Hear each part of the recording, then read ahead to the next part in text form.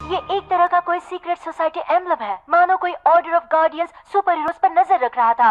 कई सदियों से। सब मेरी ही गलती है मास्टर। आई एम सॉरी मुझे मिराकुलस को लेकर उस पर भरोसा नहीं करना था। आलिया एक शानदार जर्नलिस्ट है। कभी न कभी सदियों से छिपे इस राज को वो ज़रूर जान लेती। पर घबराओ नहीं। इससे हॉक मौत को हमारा पता नहीं चल पाएगा। और वही सिंबल उस स्टैचू पर है जो इस हफ़्ते लूर म्यूज़ियम में आई थी। नामुमकिन। नामुमकिन है ये। सब खत्म हो जाएगा। एक मूर्ति की वजह से पर अभी तो आपने कहा था कि वो ये मूर्ति नहीं है मैरिनेट। सेंटी मॉन्स्टर है। एक मैजिकल क्रीचर जो पीकॉक के पावर से निकले इमोशन से बना है।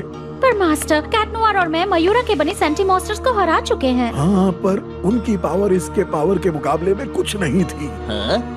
हम ये पैदा हुआ था एक नौजवान आदमी के नेगेटिव इमोशन से जो नहीं जानता था कि वो क्या बना रहा है। याद है मैंने अपनी एक बड़ी गलती के बारे में बताया था। तुम्हें समझाने के लिए मुझे पूरी कहानी बतानी होगी। जब मुझे गार्डियन बनने के लिए चुना गया था, तब तुमसे भी छोटा था। मेरे पेरेंट्स ने कहा कि इस बड़े सम्मान को मैं ठुकरा नहीं सकता था। वो मुझे मोनेस्ट्री में ले गए। मैं वहाँ खुश नहीं था। मैं चाहता था कि अपने पेरेंट्स के साथ रहूँ और हम उम्र बच्चों के साथ खेलूं। मुझे किसी चीज़ का गार्डियन नहीं बनना था। गार्डियन बनने के एक टेस्ट में मुझे पूरे 24 घंटे बिना कुछ खाए एक मिरेकल बॉक्स पर नज़र रखनी थी।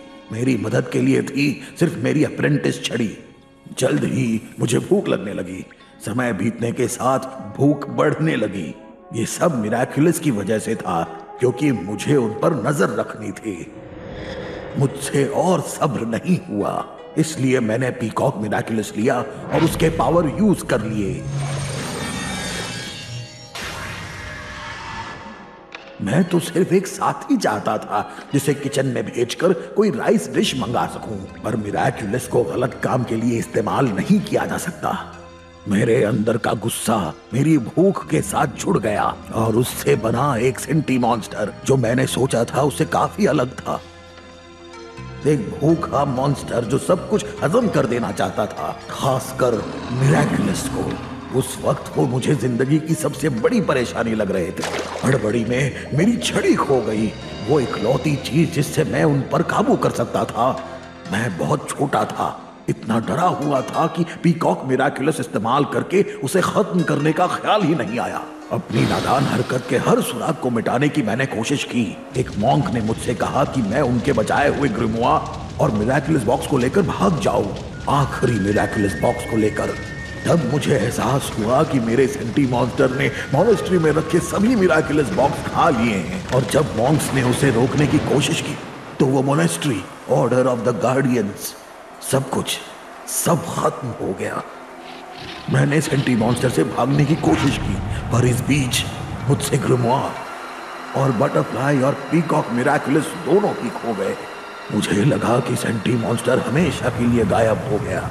उसके बारे में हॉक मौत को पता चलते ही वो पीकॉक के पावर से उसे वापस ज़िंदा कर देगा। मास्टर ऐसा हुआ तो कैट नोआर और मैं उसे देख लेंगे। पर तुम उसे नहीं हरा पाओगे। मिराकुलस के पावर्स उसका कुछ नहीं बिगाड़ सकते। और प्लीज़ मुझे मास्टर मत कहो मैं कभी गार्डियन नहीं बन पाया।